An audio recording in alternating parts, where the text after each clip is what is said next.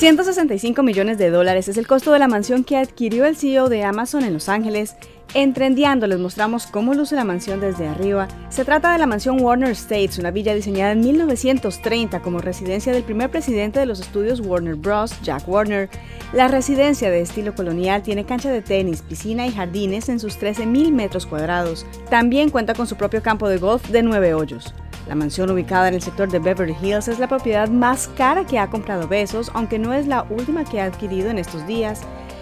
Según The Wall Street Journal, su compañía Bezos Expedition pagó 90 millones de dólares por unas tierras que eran propiedad del cofundador de Microsoft, Paul Allen.